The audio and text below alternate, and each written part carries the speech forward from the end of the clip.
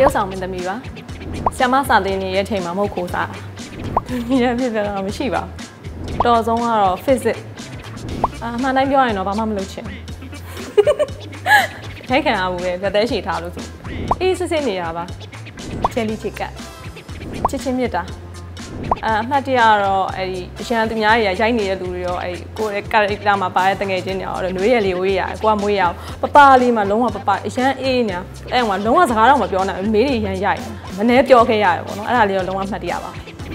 ပြုံးကလေး YouTube channel ကိုလည်း subscribe လုပ်ဖို့မမေ့နဲ့နော်